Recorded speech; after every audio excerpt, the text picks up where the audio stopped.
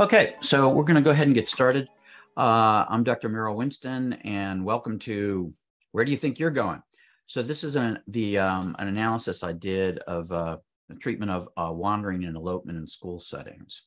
So let's go ahead and uh, get down into it.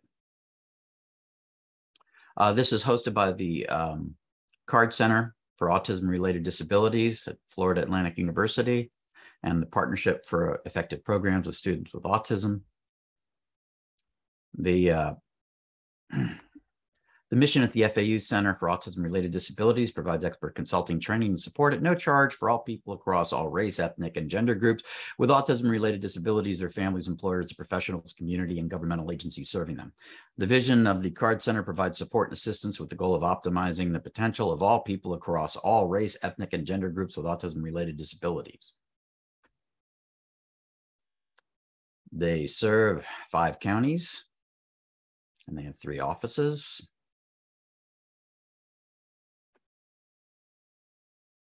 And they offer these services at no charge, family and school consultations, trainings and workshops, public education, referrals and resources, adults, hangout groups, and much more. My website is Winston Behavioral Solutions, and I do behavioral consultations, presentations, and expert witnessing. So you're seeing the presentation part right now. And that's where you can find. I'd like to start off with a quote from uh, Dr. Jim Partington that I learned from him many, many years ago. And that is that uh, we want we don't want our kids running from us. We want our kids running to us. And um, generally speaking, if they're running from you or away from you, as you know, there's a problem and that that shouldn't be what's happening. They should be running to us. And if they're not we're going to have to start rethinking things. So quick overview. Uh, we're going to talk about elopement. And i've defined each one of these for our purposes here. But i'm defining elopement as out of the room or setting. So if it's a classroom they're out of the room if they're you know, a gym class out on the basketball court, they're away from the court. That would be elopement. So they're out of the room or the setting completely. Wandering, that's within the room or setting. Um, going from place to place, never truly engaging. And people do this too. Out of area, not wandering, staying in place. You're staying in one place, but you're not where you should be and out of seat. That's where you're in area and you're next to your seat, but you're not in your seat. These problems are all tied to local rates of reinforcement. So what the when I say local rates of reinforcement, I mean what is available to the student at this second, not what is promised an hour later or even 5 minutes later. What is available right now? And most of the things that are available right now are not programmed reinforcers. They're all the ones flying all around the kid. Interactions, other people, uncontrolled toys and activities and things like that. Those are your local rates of reinforcement. If I tease somebody and they do something, that's local rates of reinforcement. That's what I can produce right now with nobody else needed, like no teacher giving me stuff. So, quick uh, a view uh, overview of elopement. Uh, we're going to look at some different categories of elopement, which is usually when people elope, they're running. Um, running from aversives, running to access reinforcers, locations, people, activities, tangibles, running to access being chased as a reinforcer. That's a whole different one. Running as confrontation seeking, we'll talk about that too. The reinforcer is not getting chased, it's forcing you to grab them so that they can get into a fight with you. Quite a bit different. Um, these categories are not mutually exclusive. What do I mean by that? There could be several functions. Person could be running for several reasons. So maybe they did want to escape and they also like being chased. So, you know, you could have a basic problem that's made worse by other things that come up. So you could have several of these acting together. That's why if you're dealing with somebody who's eloping or not where they should be, please don't grasp at procedures. Like I'll give you a few procedures in here. Don't grasp at them and start plugging them in. Job one is figuring out what is going on here.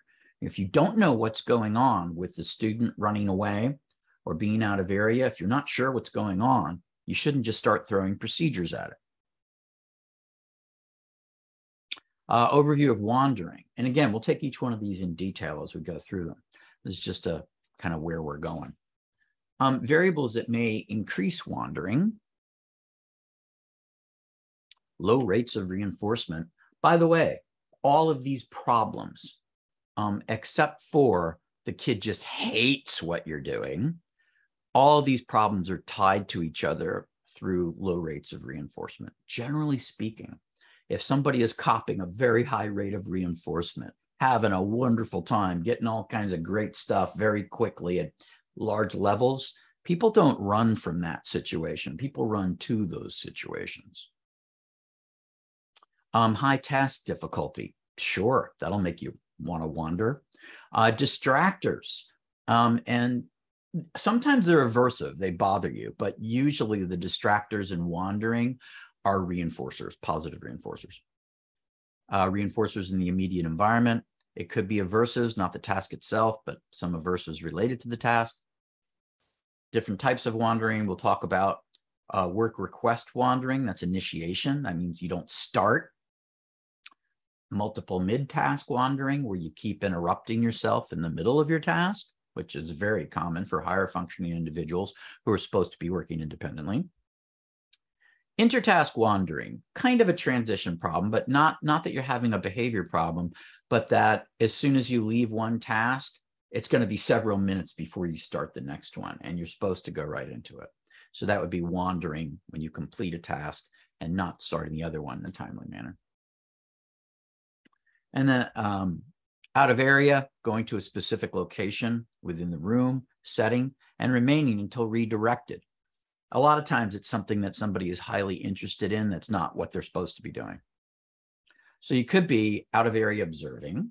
And I've seen individuals, students do this. They're curious about what's going on, but they're not engaged, but they're standing, sitting near someone, something, and watching. Out of area participating, they're actually partaking, playing, answering questions, whatever everybody else is doing, they're joining and out of area aggravating, which is you weren't having fun, so you thought you'd go stir some stuff up somewhere else. But it's all out of area. And finally, it's going to be out of seat, and we'll take a look at this as well. And so the individual stays in the area, but they're constantly up and down in their seat. Like they don't they don't leave the area of their desk, but they they just having trouble staying seated. Uh, primarily, this is task avoidance it can be uh, there are different things that it can be functioning as. It can be primarily task avoided. It can be primarily an attempt to increase the rate of reinforcement. Um, and it can be just sitting for a certain duration of minutes under these conditions acquires aversive properties. Like you're okay for a few minutes but after 10 or 15 you've had it. Okay so that was the um, overview. And now we're going to look at each one of these independently and talk about some of the different functions, some of the different contexts, some of the different reasons why these things happen. And again, you're going to have to look at each individual case yourself. You don't want to just start throwing procedures at things. Just because somebody runs out of the room doesn't mean they're all running out of the room for the same reason. And it doesn't mean you just throw the same procedure at it. The most important thing is not simply to make the elopement stop. That is important. The most important thing is to understand why it's happening because there's a lot of ways to make it stop temporarily. But if you don't really understand why it's happening, it's going to come back in some other way. So, first of all, elopement, leaving the room or setting without permission. Now, typically, this is running. Now, I guess it could be elopement as well if a higher functioning student says, screw you, I'm out of here. And they just calmly walk out of the room. It's technically still elopement, but usually when people talk about that, they usually mean they got a runner. Um, and it is a bit different with a higher functioning person that says, screw you guys, like Eric Cartman, screw you guys, I'm going home. Okay. and that if they do something like that, that's a bit different. And, and we can talk about that as well. Um, primary maintaining variables for elopement. One, access reinforcement outside of the room or setting. Um, and usually they're going to a specific area. Two, escape from aversive stimulation. Somebody's had it with the teacher. They've had it with other students. They've been teased too much. The work is too hard, whatever. Um, but they straight up, they're not trying to go get something they love. They just want out. And this would be characteristic of a student who left the room and just sat outside the door. Like they didn't want to go anywhere. They just did you just wanted to get out right? So that would be more like escape from aversive stimulation. And certainly if they calmed down once they got out and they just hung out, that's probably what it was. Um, access to being chased. These are the people that are running. If you want to be chased, you don't walk out of the room, you bolt, okay? And you go fast.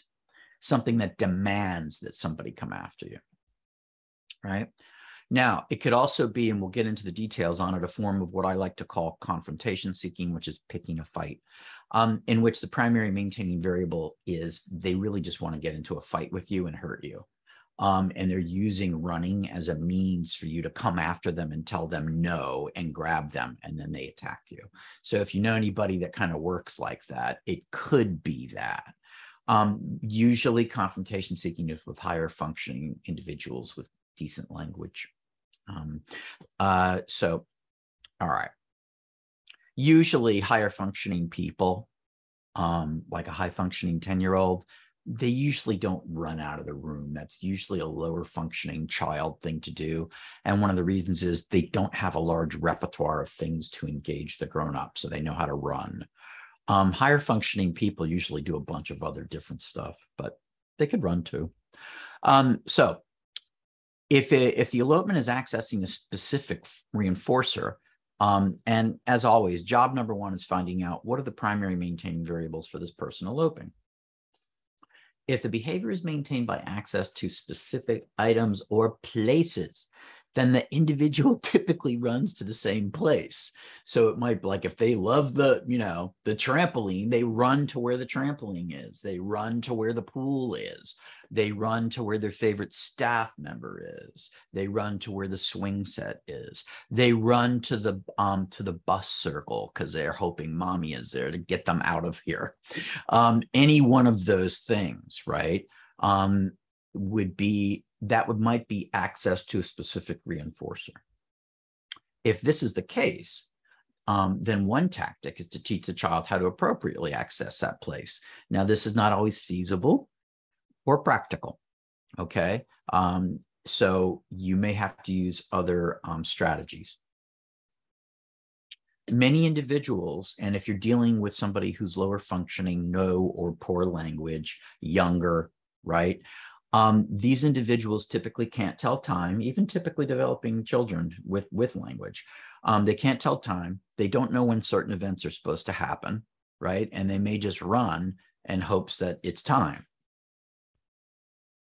Um, in the case of not knowing when it's time to go home, and I've seen this with a number of individuals who they would grab their backpack, kind of, which is what they do before they go, indicating an, an MO is present, a motivator is present for them to go home.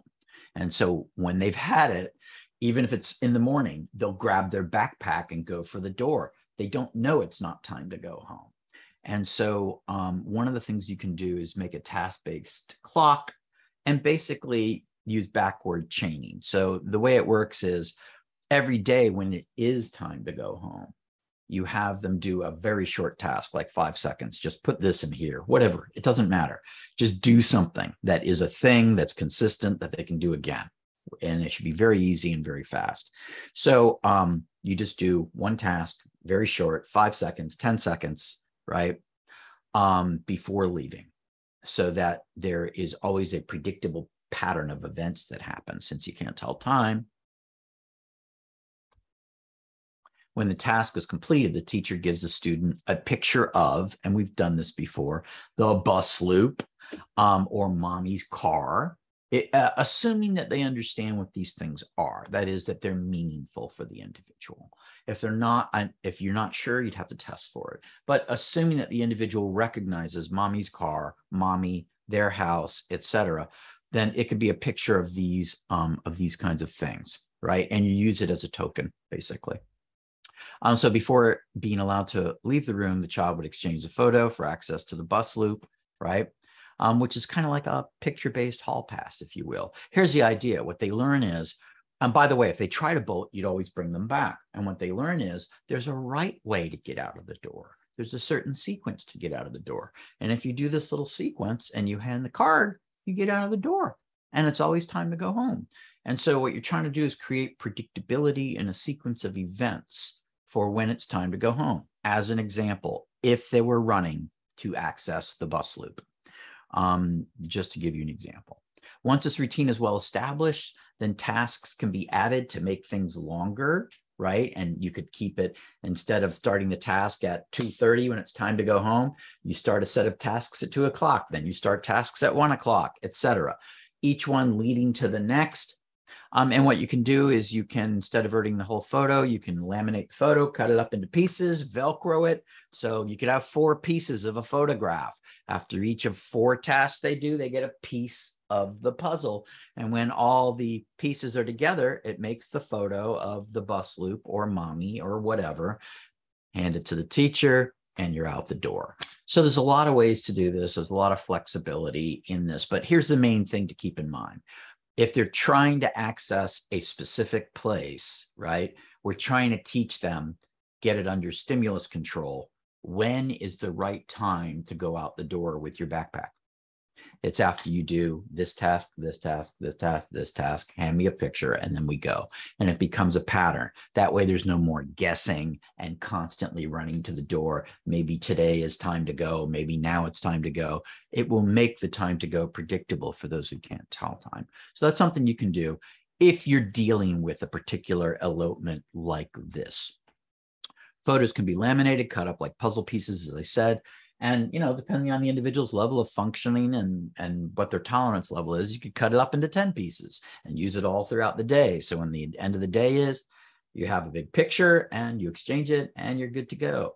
And hopefully those picture pieces would be established as condition reinforcers but who knows? So when the picture is complete hand it to teacher and you get access so um, procedures like these should bring the behavior of walking through the door under what we call stimulus control.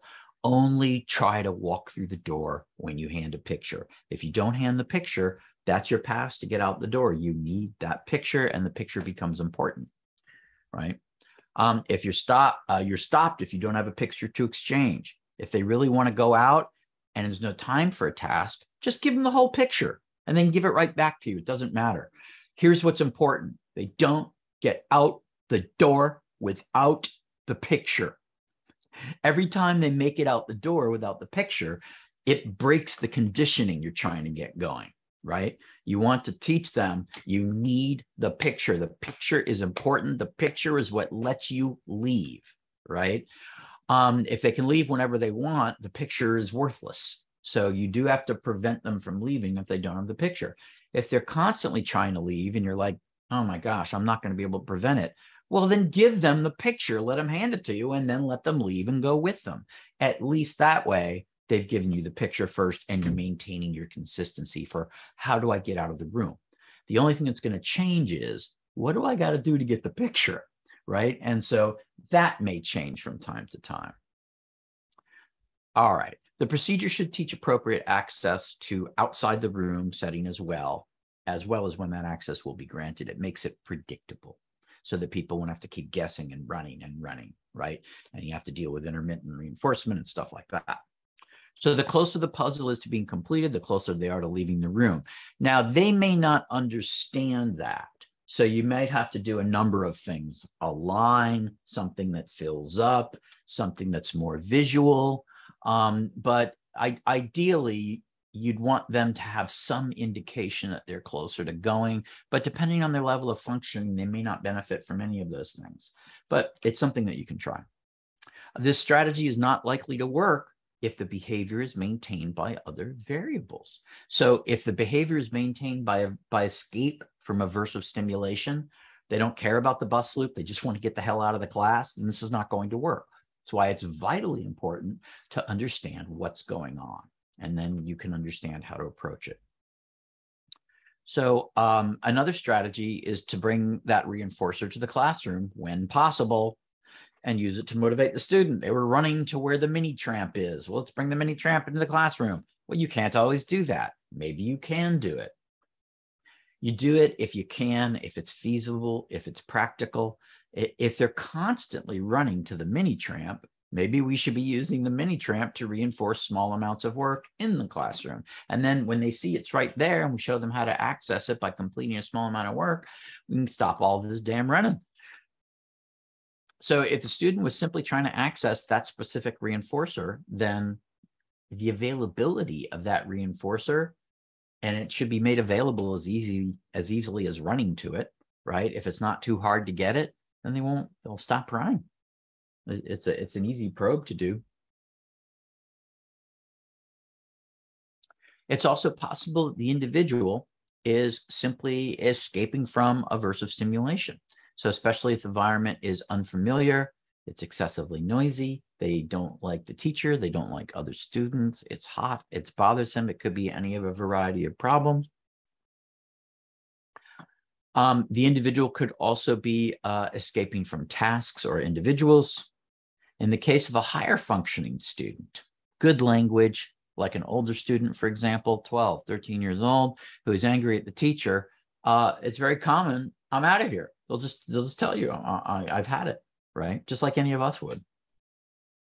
This is probably the least likely maintaining variable as um, most individuals don't usually flee when they're irritated by the teacher um, typically they stay in place and become aggressive and name call.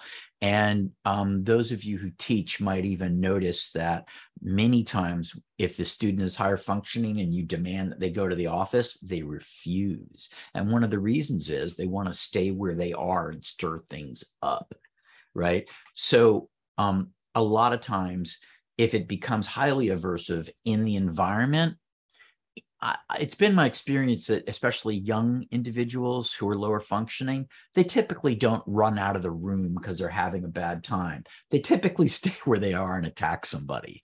Um, the ones that have the devil in them and the devilish grin and take off running, they're usually not angry.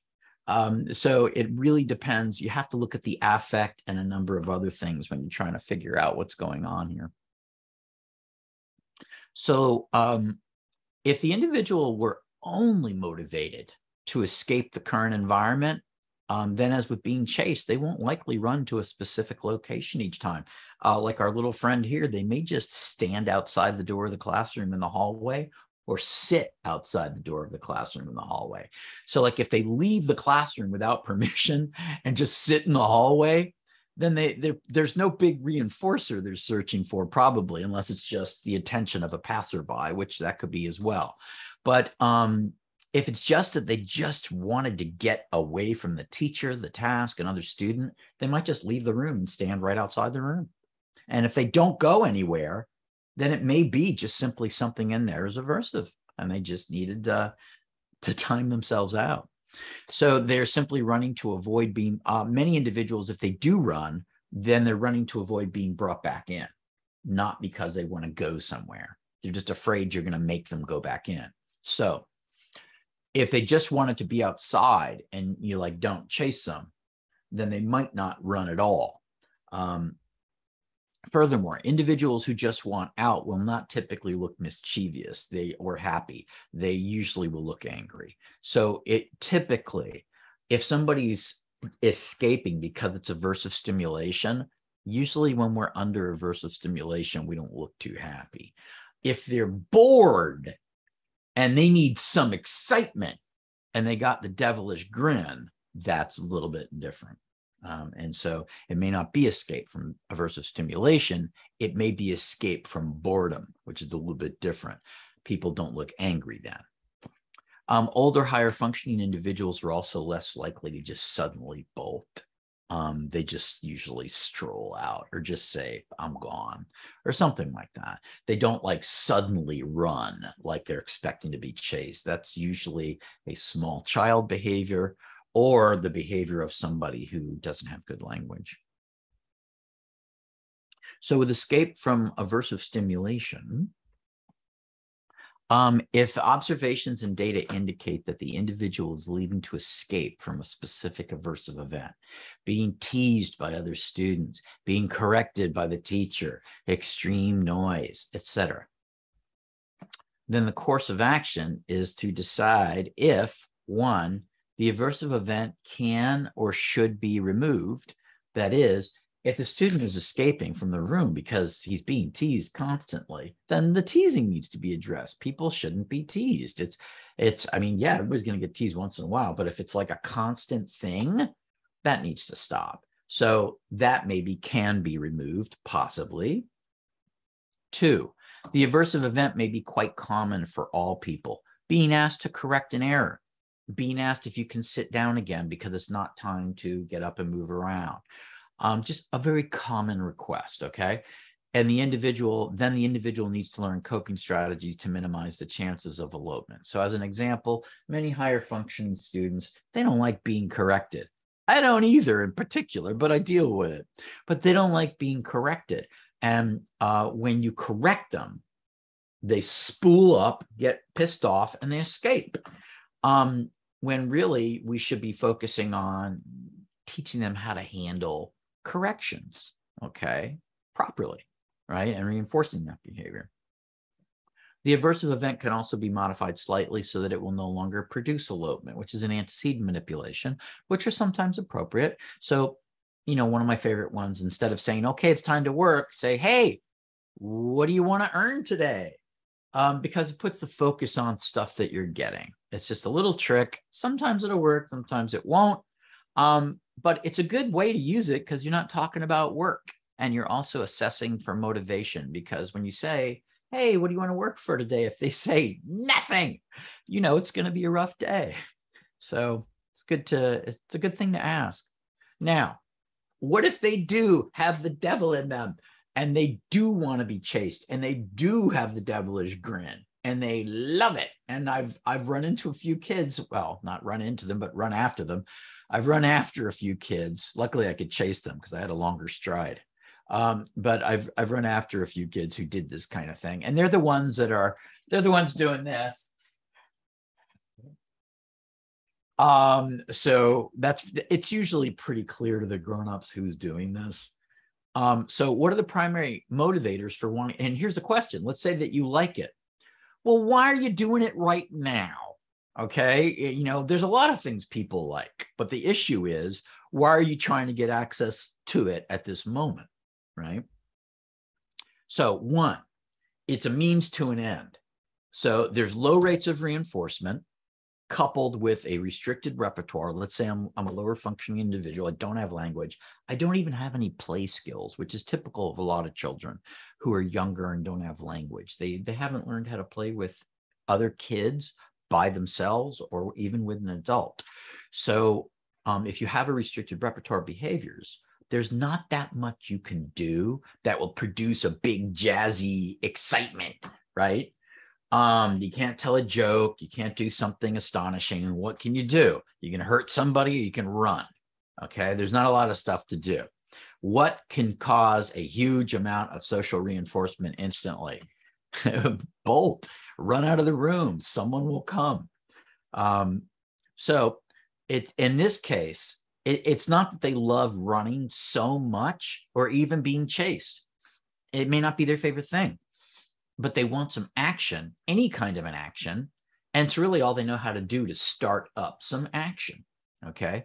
So in that case, it, it's not so much, oh my God, I just want to be chased all the time. It might be, oh my God, I don't know what else to do with grown-ups.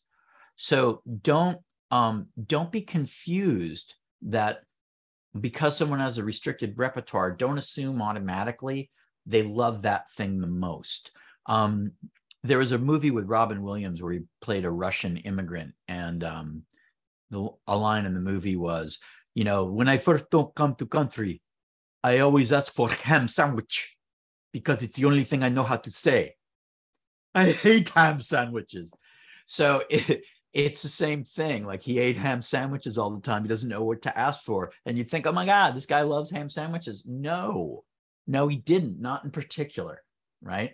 And this can be that same kind of problem. No, maybe I would like something more than running, right? But I, I don't know what else to do. Maybe I would do something standing still if it were fun, right? So this is uh, the way you might start thinking about these problems. Two, instead of a means to an end, like I just want excitement, I don't care how it is, which is a means to an end. Two, it is the end. They absolutely love running, love watching grown-ups chase them. They think it's the best thing ever, and they do it every chance they get, and they love it. And they would choose it out of a lineup. Okay. So that happens too where they just love being chased. And many typically developing children love it. Okay. My dog loves it. So it is, it's quite common for people to like this activity. The game tag played by children. That's about being chased. So um, it should not be surprising that a certain percentage of children will love being chased, just like people love chocolate, right? Um, so that can happen too. So this likely also reflects a restricted repertoire of social interactions, right? So if it, for a means to an end treatment option, like chase, being chased is not the thing I love most, but I don't know what else to do, right? Then we want to um, increase local rates of reinforcement in the current setting um, that they elope from. Uh, and you'd want to know what's the count per minute of reinforcement? How much reinforcement are they getting? If the reinforcement is coming fast and furious, people tend not to elope. People tend to elope when the rate of reinforcement goes low and the rate of reversement gets high. Everybody bolts in one way or another. Um, so, what reinforcers are being delivered at this rate? So, if you say the rate of reinforcement is one a minute, what are they getting every minute? Good boy, a skittle, a gold star, airplane ride, five seconds of iPad. What are, pardon me, what are they getting? So, example, verbal praise every five minutes while on task is not a real high rate of reinforcement, and it's probably not real big reinforcement. Example, one skittle every two minutes while on task. At least that's clear what they're getting. So, other treatment directions.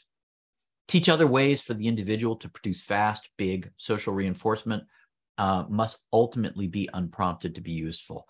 Anytime you're teaching somebody a new way to interact with someone to get some social reinforcement, don't make the mistake of prompting it all the time. Because remember, when they, they don't need any prompts to elope, they can do that all by themselves. They don't need any assistance, they don't need any prompts. They can do it completely independently. So, whatever you teach them to do that's fun with a grown up, they have to be able to initiate it on their own with no prompting for it to compete with eloping because eloping they do independently. So if you get into a situation, they can elope independently. But I taught them this fun game, but they won't do it on their own. I have to prompt them. Well, the only time you're going to prompt them is when they tried to elope, because that's when you're going to know they needed some action. So that's why it's vitally important for anything that you teach them. You, they've got to be able to do it on their own because they do problem behavior unprompted, right? When was the last time you saw somebody go up to a kid and say, Hey, don't forget to elope today, okay? You know, you need to be able to do that on your own. I don't want to keep reminding you to elope. You need to be independent. Um, kids know how to do bad behavior all by themselves. And if you're going to teach them good behavior, that's got to be independent too. So remember, no one no one prompts them to run out of the room. Um, I don't think. Okay. So number three, the individual's confrontation seeking. Um, oh, by the way, I'm sorry, I didn't mention this. If they love to run just to run, then the then the answer is they earn that as a reinforcer.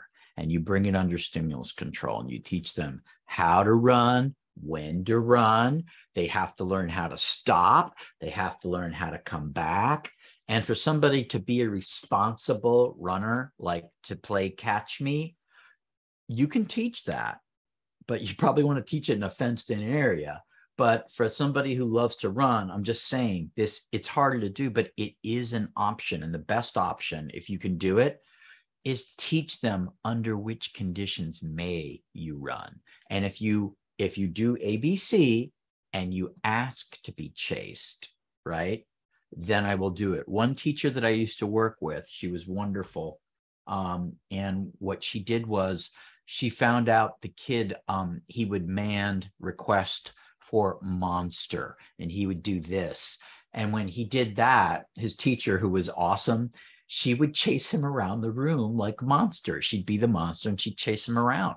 And so he'd do something for her and she'd say, What do you want? And he'd do this and she'd go, I'm going to get you. And he would squeal and run around and he loved it. And as long as he could access that, he didn't need to bolt from the classroom because she made it really fun. And he learned how to ask to be chased. Monster, right? So that is a thing you can do. And maybe you just chase them around the room a little bit. But the, point is, it's way better than chasing them down the hall. And you can always change it into something else later. Um, so in this case, the ultimate, uh, in the case of access to being chased as confrontation seeking, you can see this in high function high functioning kids won't likely bolt. They might, Lower functioning kids will do it because they don't know how else to bait you into grabbing them. And so, um, whether they're high or low functioning, both people could do this because you don't have to be very sophisticated to run. And also, you don't have to be too sophisticated to learn that people will come get you, right? And that they'll put hands on you and then, then you can attack them. So, if this is the case, and the person is running, especially with higher functioning individuals, um, what they're doing is they're duping you into grabbing them so they can punch you. And the reason high functioning people do this is they understand about wrong and right, fair and unfair. He started it, he deserved it. He they grabbed me first, they deserve to get hit. They understand all these concepts and because of that, they don't just run up and punch the teacher they do something to bait the teacher into telling them, no, stop, you can't do that, putting a hand on them. So if I want to get into it with the teacher, all I do is I run out of the room because I know somebody's going to come get me. And when they grab me, that's when I go off on them. Many people do this kind of a thing.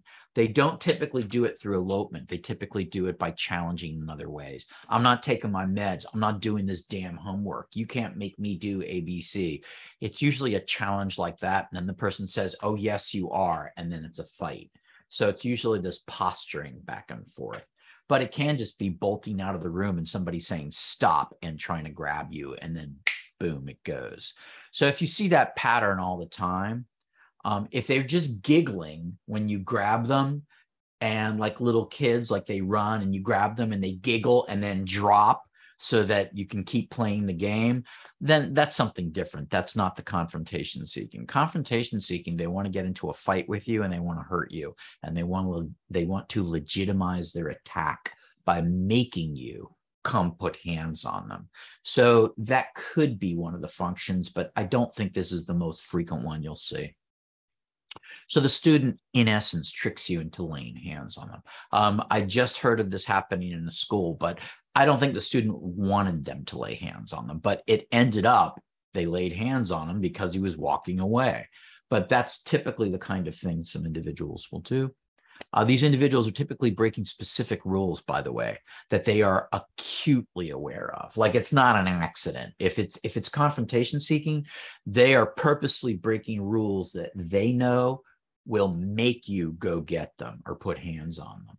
Um, and that happens quite frequently too with our higher functioning kiddos. So um, they're typically aggressive, higher functioning. They're aware of social room, rules, customs, like he started it. It's not my fault. You deserve it. These kinds of things all things being equal, lower functioning individuals who are not well socialized, they don't need a reason to hit you to justify it in their own mind so they don't feel bad. They're just busy hitting you. They don't have to come up with a rationale. Higher functioning people that understand concepts like you were good, you were naughty, it was your fault, blame. People who understand things like this, there's value in um, putting it off on somebody else, right? And you want to feel you want to feel justified in your actions. You don't want to feel bad for what you did. People who are lower functioning like that tend to not need reasons. They just bite you. Um, so, what if it is confrontation seeking? Then it may be uh, only one of a variety of behaviors performed to cause a confrontation. If it is confrontation seeking, usually you see all kinds, not simply running. It'd be refusing to do things, yesing all your no's, saying no to all your yeses, contradicting you at every possible chance they have, like a student with oppositional defiant disorder, you might see some stuff like that. So it, if it is confrontation seeking, it's probably not the only kind that they do. Um, the way to treat this problem is by addressing the motivators that cause the student to seek opportunities for aggression. Really, the treatment, if it is confrontation seeking, it's figuring out usually people do that when something's bothering them. Something has happened to them, somebody was mean to them. And what they're doing is they're doing counter control. So um, a lot of times you'll see confrontation seeking if somebody said, You need to do this right now. And it made them very angry. And so they went and took it out on somebody else. They started a fight with another child. So that, that it usually starts with aversive stimulation. The person brews with it for a little while. You know, they think about it. And then they want to attack somebody because they feel um, agitated. They want to take it out on somebody. It's a very common phenomenon. So here's the good news. It's likely that a very small percent of all elopement involves clear confrontation seeking. I don't see it that much um, that ends with aggression. If it constantly ends with aggression, so if they constantly leave the room and as soon as you try and stop them, they don't simply try to get away and keep running or giggle, they immediately attack you badly. That might be the confrontation seeking thing. Um, anyway, it's something to look out for. Um, now we're going to talk a little bit, we're going to shift gears and talk a little bit about wandering. We're about 40 minutes now. Um, so now remember, if you're not where you should be, elopement, not where you should be, wandering, not where you should be. If you're not where you should be, there's probably not a very high rate of reinforcement where you should be because, as they say, uh, behavior goes where reinforcement flows. So if the reinforcement is flowing fast and furious, behavior stays where it is. Okay. But if it isn't, then behavior goes, goes somewhere else. That's what we do as organisms. We're always trying to maximize our rates of reinforcement. So variables that may increase wandering, low rates of reinforcement during the task, high task difficulty, Distractors, stimuli that increase wandering. Usually these distractors are um, potential reinforcers in the environment. So they could be reinforcers, they could be aversives, um, noises, it's too hot, they don't like the chair they're in, the pencil they're using hurts their hand, just like little things like that that might bother us. Uh, different types of wandering that we'll look at. Work request wandering, which is a failure to initiate Okay. All right. Go get your folder and go get your seat and get started. And they go, okay. And they start walking towards it. And then 10 minutes later, they're not doing it. Multiple mid task wandering. You're usually going to see this. I see this most of the time in like an EBD classroom. Let's say it's got like 10 kids, there's a teacher. They're supposed to be doing something independently at their seat, a worksheet, reading, whatever. Okay and multiple times while they're working, the student self interrupts. I don't understand this. They get up out of their seat, they mess with their peer, they ask to sharpen their pencil. There is no solid work for more than a few seconds at a time. Um, and, and if you really watch them, you see this amazing level of self interruption while they're working and they'll talk about intertask wandering. Um, this is not a transition problem in the usual sense where the person, when you say, okay, it's time to go to music, they explode. I'm not talking about that. I'm talking about they leave the task they just did. They're supposed to go to the next one, but they get distracted on the way between one task and another. That's what we're talking about. A couple notes about people who wander. So again, wandering is you're all over the classroom or area. Wandering in general is likely to be more of a problem with unsupervised individuals, first of all. who allegedly are working independently. They're further away from the teacher or the authority figure. So it's easy to get up out of your desk and wander around in some other area, right? And then usually there's a gap of supervision. The teacher turns around to help somebody, boom, wandering. Uh, compare this with a student working in a one-on-one with the teacher. Teacher's in the chair, therapist in the chair, students directly across from them, or they're both sitting at the table, right? This student's more likely to have out of seat problems because the teacher will redirect them most likely before they wander. Wandering tends to be more of a problem from students who are allegedly independent, right? But they're not because they keep getting up and wandering. So here's the good news about those who wander they want something. They want something that isn't where they are. If they didn't want something that wasn't where they are, they wouldn't be wandering.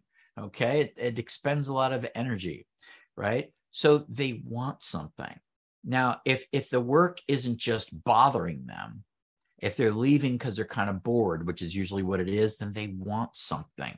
They are seeking something, attention, tangibles, whatever. But it's not because oh my god i can't stand it anymore. It's uh this is not fun. I think i'm going to look for something else. It's more like that. So individuals with few reinforcers available or those with very low motivation they tend to stay in one place right? I actually will do that when we're not sure what's going on. I'll say nobody talk to the kid. Don't do anything with the kid. Don't ask them to do anything. Don't redirect them. Just kind of ignore him for a while and I just want to see where he goes if he goes anywhere and I and I'll a lot of them they'll walk around and I just see where they walk and how long they spend in each area. And then you get an idea of what they actually want because they will take their body to the places that has the most reinforcement. Um, so types of wandering, let's start on this. Initiation wandering. Uh, an instruction is given and the individual wanders on the way to carrying out the instruction. So as an example, Joey, go get your red folder. He doesn't have to do an assignment. You just want him to go get his folder and bring it back, right?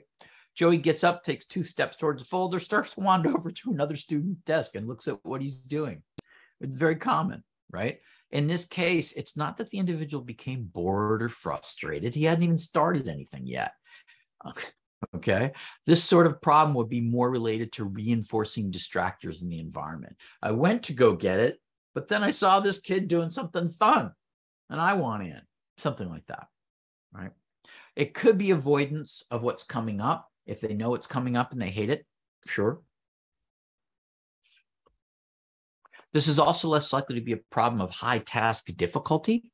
Again, the student was only asked to get his red folder. So it's not like an escape avoidance thing, unless they know the red folder has math in it. They hate math. And yeah, yeah, it could be. Um, for this type of problem, you can focus on eliminating distractors and or providing specific reinforcement for responding to an instruction quickly. So a lot of individuals, there's no contingency on respond to what I said quickly and get something extra. So if you do it within two minutes, there's nothing extra. If I say, hey, go get your red folder and you're here in five seconds, you do get something extra, just as an example. A lot of times there's really no contingency on please start what I ask you to start immediately. And if you do, good things happen. There's usually no contingencies on that. So you can just make one. It's not that hard. If distractors are social interactions from other students, which they often are, right, or other staff, right, it's possible to arrange contingencies so that the other students provide very low social reinforcement. So we tell them, look, if Joey tries to start up with you, you can get extra prize box tickets if you just say, sorry, I got to get this work done. Right. And that will cut off reinforcement for the other individual. And I've seen people use contingencies like that, and those can be very effective. If you control the other people in the social environment, then you can you can control the individual you're having problems with. So um, an individual may have, eh, what about multiple mid-task wandering? So the individual may have no problem starting a task. That's usually the easiest part. Uh, but just starting to do something. If the task takes several minutes, unlike bring me your red folder, which just takes a second, right? You might have to start looking at the rate of reinforcement issues during the task. and even conditioned reinforcers. Also look at the rate of non-program reinforcement for going off task. So that's important too, attention from peers. So typically the rate of non-program reinforcement, your peers talking back to you or laughing at something funny you said, and that rate is usually very high in a classroom that's not well managed because everybody's talking to each other all the time. And if people can manage to talk to each other, look at each other, acknowledge each other, you're not usually controlling the reinforcement too well. This can be straight up escape maintain behavior where the task becomes aversive over the duration of the session, which can happen. Like I was okay for the first five minutes, but after 10 or 15, I'm ready to get out of here. Right. Or it could be more of a, I'm bored. Like I don't hate this. It's just boring. I can do it. It's just boring. I'd rather do something fun. Right. And then so somebody is just seeking other reinforcers. It's not that, oh my God, I hate this so much. It's horrible. So sometimes um, frequent mid-task wandering reflects uh, difficulty performing continuous work without self-interruption. I've seen this a lot in EBD classrooms. So many students who wander in this manner, they also have difficulty tolerating low rates of reinforcement. It's one of the reasons they wander. That is, what becomes aversive is doing something boring. And I just can't sit and do it. I need more stimulation, right? Now, it just because they have difficulty doing it doesn't mean they can't. It just means they have difficulty. Like you might have difficulty doing push ups. It doesn't mean you can never do them. It means you can't do them right now. Okay. But it doesn't mean you'll never be able to do one. Well, this is the same thing. So many students, um, because they have difficulty tolerating low rates of reinforcement, um, these are the kind of individuals they'll only stay in the same place if something intense is happening, like a really fun video game. Then they'll stay where they are and they won't wander. Um, there is seldom a contingency in place, I've found, to work continuously with zero interruptions. And if you do interrupt, it resets.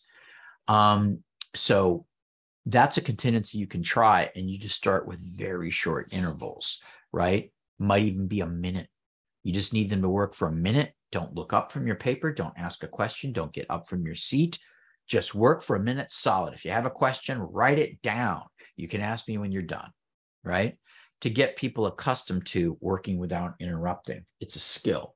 People can be bad at it, but they can get better at it. They can be awesome at it, right? I like to look at it that way. So it may be necessary to initially provide huge reinforcement for nonstop work of short durations, one minutes, two minutes, three minutes. If you think they couldn't do a minute, then 30 seconds of continuous work, something like that. So that can be done as well. Um, at the start, individuals, as I said, they could be good or bad at working continuously, but everybody can improve.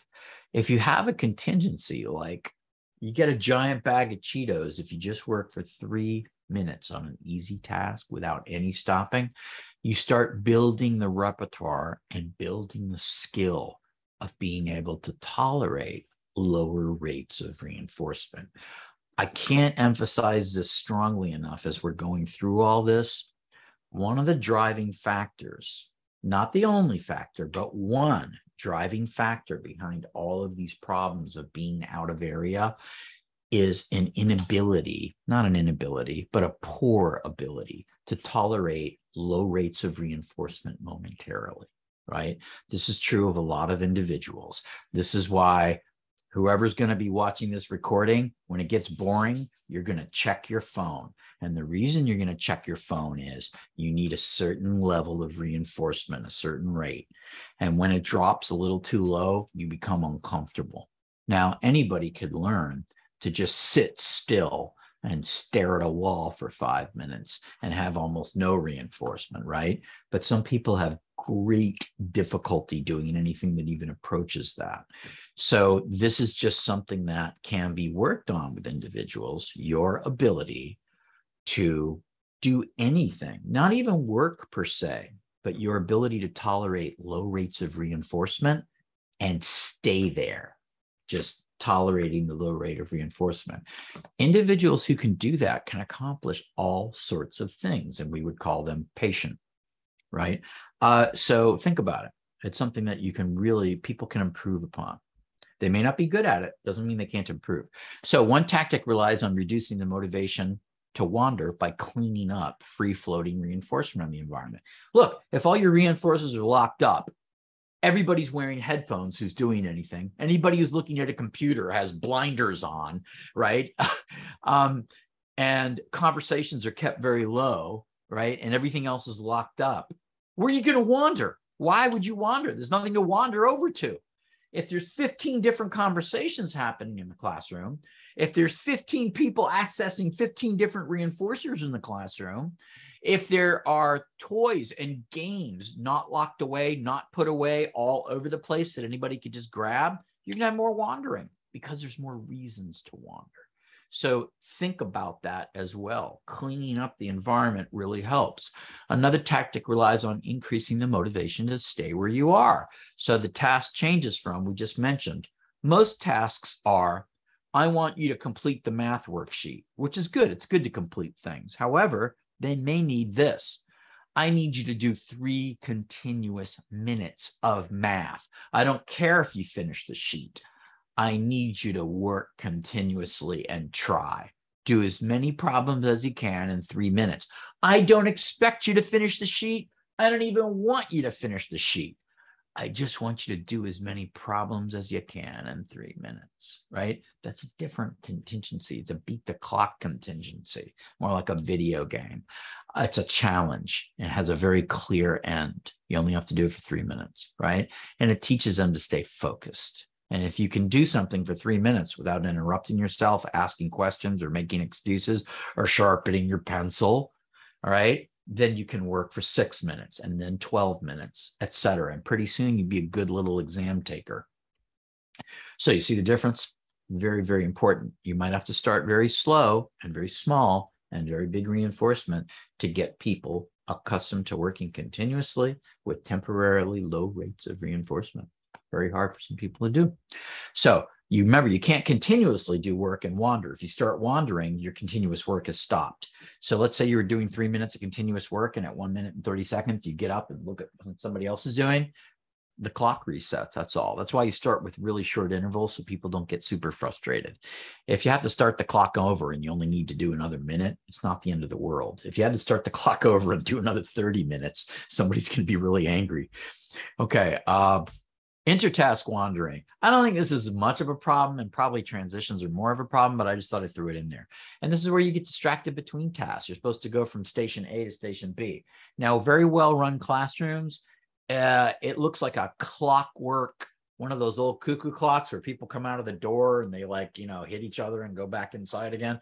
Um, I've seen classrooms where like a bell rings and like little robots, the kids all get up out of their seats, all change stations sit down again and they start working. I'm like damn. And it's like really impressive you know like a machine like and they all go down and every time they do it every time the timer goes off they all go up they walk over. Nobody's walking to the wrong area. Everybody walks ex- immediately to their next area but one of the reasons this happened is the classroom was incredibly organized in this particular case. And it was so clear where to go. And all the students were on board. So when I go over to my new area, the previous kid is already cleared out. Right. So it was pretty cool. Uh, but anyway, the, there's no intertask wandering in this case because it's so clear where you're supposed to go. Your materials are already ready for you, and it's always the same thing. You go from this table to this table to that table, right? So it, in classrooms that are run like that, I think you have a lot less intertask wandering because it's clear. Okay, I did this, boom, I'm going to earn this next thing right over there. Boom, I'm ready to go. I'm going to earn my next thing. It just makes it so much easier to go somewhere and get started, right? Instead of, do you know where your folder is? Do you know your materials are? Where are you going to do your work? There's more wandering to go on inside there. So not the same as problems with transitions. Um, I usually talk about transitioning problems as you get aggression when you ask someone to go somewhere different. That's a bit different. This is they they go when you say, okay, it's time for go reading, they go, but on the way there, they become distracted. So it's a little bit different problem. Uh, in this case, uh, it's going from one task to another quickly is what you want the person to do. Again, there must be a contingency in which going directly to the next task is reinforced immediately. So as an example, you might have something set up at their next table, like a little treat that they could have. As soon as you get there, you can eat it, right? But maybe there's a limit. That treat is only there for a minute. After a minute, you take it away. So they know if they go to their next station quickly, there'll be a treat there, a gold star, something. But you put what's called a limited hold on it. So it's only available for a minute. If you get there within a minute, you get it. If you don't, eh, you don't. But the point is, there has to be something to encourage changing quickly. And if you do, people will usually follow along. If there's a task preference, you could even do this. If you had five tasks, structure the hardest first, right? That way, as they're transitioning from one task to the next, it's getting easier and easier, meaning transitions are to become more and more likely with fewer and fewer problems. Why? You're transitioning to something that's easier and easier. You'll be less likely to escape and wander. If your day got harder and harder as you went, I would say that the probability of escaping would also increase. So you might want to structure it the reverse way. Much wandering between tasks may be simple avoidance behavior. Uh, as tasks becomes easier, as I said, less motivation to avoid them. So structure them so that they're getting easier. One thing you can do. Out of area. And we only have two more sections, and I'm a little late on my 50 minute um, slide, but we're going to get that in a second. Uh, so, out of area, going to a specific location. This happens too uh, within the rumor setting and remaining there. So you keep going back to some place that you're not supposed to be. Uh, so you could be out of area observing, out of area participating, or out of area aggravating. Uh, let's take a look at these. So out of area observing is pretty easy. Um, if you're just watching, then it's likely it's a lower level reinforcer. They're just curious, and it's usually easier to redirect the person. If redirection becomes immediately difficult, you may be dealing with a potent reinforcer and it may take some further assessment. Maybe they really enjoy just watching. If they're out of the area participating, playing, answering questions in the area where they are, then we might have to look at why is this so attractive to them right now? So are there higher rates of reinforcement for there than where there was? There probably are. Um, is it more social than where they were? Are they looking for social reinforcers? Maybe they were alone and they they went out of area because it was a group. Um, was it a preferred subject or activity?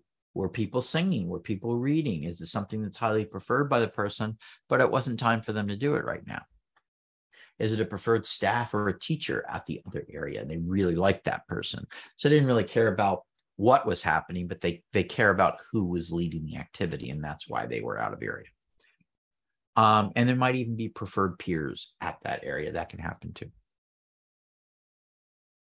Um, if that were the case, um, if I jump back for a second, sorry, if there were preferred peers at the area, then you'd have to look at how you can let them access those individuals appropriately, how you can let them access that activity appropriately, you might schedule that activity after they complete their first one and just have them do a couple things and then let them go complete that activity.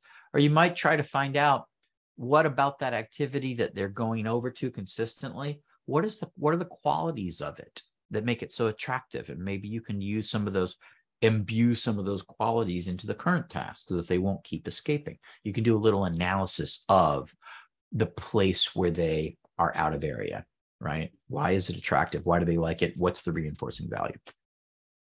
So if you're out of area aggravating, um, there's interaction, but the individual went to the new area specifically seeking what I'll call social signs of damage. So uh, signs of damage usually are physical, like bleeding, you know, tearing your shirt, destroying the room, seeing things broken. But there could be social signs of damage too, as when people tease. So if somebody teases you and go, hey, that's not very nice my face screws up a little bit. I seem a little sad, a little bit upset. Those would be social signs of damage. It's a sign you've hurt my feelings, right?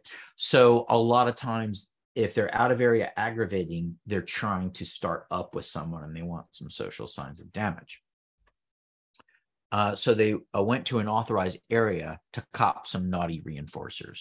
So let's say that they don't like the teacher, they're off on their own. So they come over and they disrupt the lesson because they know it aggravates the teacher and that was the form of reinforcement they were seeking.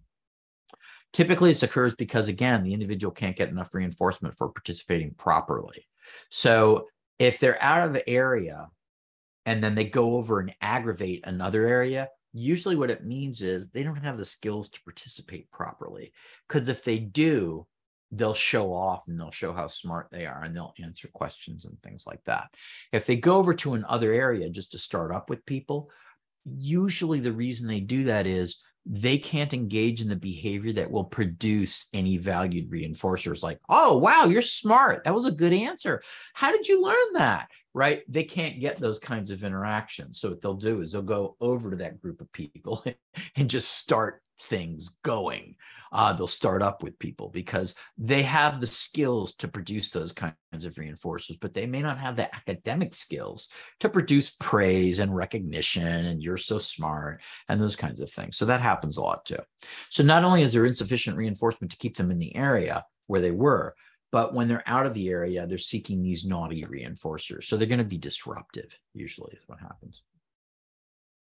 Um, now we're at the last part, which is just out of seat. So that's like the tiniest movement you can get. We're going, we're going less and less. First, we were like out of the room. Now we're like out of area. Now we're to a specific area. And now we're just out of seat. Okay. Um, so the individual stays in the area, but they're constantly up and down in their seat. So they're at the table, they're at their desk, but they're up and down and up and down and up and down. Uh, so uh, sometimes it's task avoidance. And by the way, out of seat and back in seat constantly is usually more of a problem with the therapist in session with someone next to them. Because usually what happens is when the kid stands up, the session is interrupted momentarily, and then they want to get them seated again before they resume. So typically, standing temporarily interrupts. Like, I don't see this. When the kid stands, I don't see the therapist standing and continuing with the prompt. I see the therapist sitting and asking the kid to come back down again. So, usually, standing provides some momentary escape right? Um, now it may be that they don't hate the task, but they just um, it's aversive for them to sit still for very long. So out of t- out of seat is avoidance. If it's up and down, out of the seat in place, this is sometimes more, as I said, an individual therapy session problem where the individual has a high academic demand. Touch blue, show me chicken. Where's your nose? Um, I, those are the kinds of ones where I've seen people popping up and down a lot, like prairie dogs, um, meerkats. So the out of seat behavior typically provides a brief break, pardon me, from demands and sometimes access to self stim. So I have seen many times individuals stand up so they can body rock better, right? Or flip their hand or something like that. So they'll stand up and stim and have to be brought back down again. So you'll see some of that too. If the out of seat is maintained by task avoidance or interruption, then teaching a mand for a different activity is appropriate instead of standing up. Maybe they mand to do something else. It's also helpful to increase reinforcement for the frequency, magnitude, and to increase prompt levels to make the task easier. Usually, if the reinforcement goes pretty fast and it's coming pretty fast and the instructions come fast and there's not a lot of downtime, people tend to be able to stay seated better. Um, you'll usually see them pop up more when people are pausing between requests or things like that. Um, what about if if people just need more motor activity? They just after a while, people just can't sit anymore, or they just um, want to change positions. I've taught classes before where people would tell me ahead of time, please um, uh, don't take it personally if I have to stand up. It's not that I don't like your lectures. It's just I can't sit very long comfortably. And they would just stand for a while and they'd be fine. And they would sit back down again. So some people may need some motor activity. Maybe they just don't want to sit for so long if they were sitting a long time. If the individual is higher functioning and working independently and is constantly up and down, then it may be more of a motor activity need. Okay. Um, this is where standing desks come in. Uh, at a standing desk, you can fidget more, you can rock back and forth more. You have a lot more range of movement than if you're locked into a traditional desk chair. Okay, where I've got the thing here and I'm locked in behind it. There's not a lot of room to move. And so that's maybe where standing desk comes in. Um, I've heard of cases where the uh, the kids have foot fidget bars, and while you're standing, you put your foot on that bar and you swing it back and forth and it allows you to do some motor stuff without even going anywhere. So for if they just strictly wanted some motor activity but you want them to stay where they are that's kind of a decent thing. That's a decent compromise uh, one teacher i thought it was very clever she arranged because she didn't want him to go out of area he was out of seat but she was like as long as he does his work i really don't care if he's out of seat which is quite reasonable right so she did the finger on the chair contingency. As long as he had his finger on his chair, I'll just demonstrate. It looked like this. So he had to have one finger on the chair the entire time. So he's like doing his work and he walks over to the other side. He does this. And he's like playing a little game with it. And he, he's writing over here. And then he's back over here and he's doing this. But he did stay next to his chair. And although it was a little bit annoying because he was really pushing it, he kept a finger on the chair and it allowed him all kinds of flexibility and where he wanted to stand or what he wanted to do and it solved the teacher's problem of he's not in the area where he shouldn't be anymore and he and she solved his problem which is i don't want to be locked in this chair for 50 minutes right so um that's a nice compromise if it's more of a i just need to move around a little bit right so summary um, first of all, we don't want our kids running from us. we want them running to us, as Jim Partington said. Uh, to various degrees, not being where you should be in general, right, reflects low rates of reinforcement where you are. Usually, if the rates of reinforcement are very high where you are, you don't tend to leave those places. Um, behavior goes where reinforcement flows when rates of reinforcement become too low and or aversive stimulation becomes too high, everyone escapes. Now you may escape in different ways. So some of us escape by using words. Hey, this really isn't in my job description. Uh, I don't know if it's appropriate for me to be doing this task. That's how we escape. We don't run out of the boardroom. Okay. We use our words to escape. I don't think this is in my position description, but that's escape motivated too. Um, if you don't know how to do things like that with your words, maybe you run out of the room. so, where do we escape to is an issue. And that's usually places with lower rates of aversives and higher rates of reinforcement. Uh, if you want to contact me for any follow up or anything like that, there's my email. It's Merrill at winstonbehavioralsolutions.com. And for your certificate of completion, Thank you for participating in this webinar. To obtain a certificate of completion, you must fill out the form at the certificate of completion link provided on the email for this training. Please write down this code as it will be required to receive your certificate of completion. The code is MW, which happens to be my initials 12 20 22. MW 12 20 22. Uh, thank you very much for attending, and you can contact FAU CARD uh, at this number. There is their email, and there is their website. And thank you very much for attending.